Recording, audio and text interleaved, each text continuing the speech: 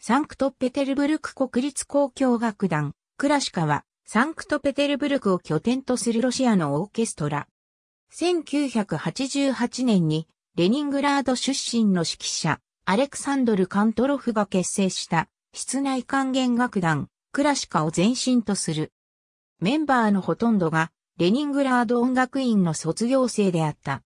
このアンサンブルは人気を博し、結成のちほどなく、交響楽団へと発展した。1989年、1990年にアメリカ合衆国、カナダ、ユーゴスラビアへの演奏旅行を行い、いずれも成功裏に終わらせた。活動が認められ、1992年1月には国立組織となっている。芸術監督権主席指揮者は、設立以来一貫してカントルフが務める。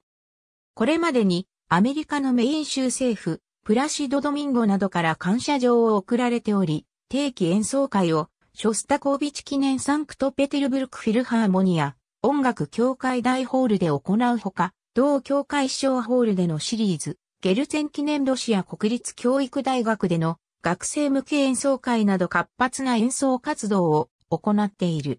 日本では1993年、1996年にレニングラード管弦楽団名義で講演を行った。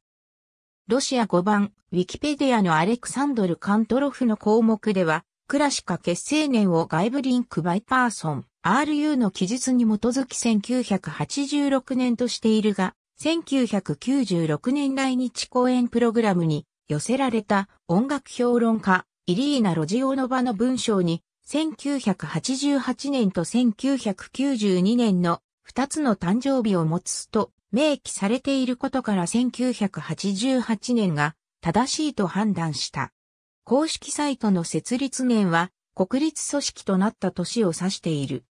1989年にサリーオペラカンパニーとベートーベンのオペラ、フィデリオなどを共同制作している。1993年にフィンランドで共演。ありがとうございます。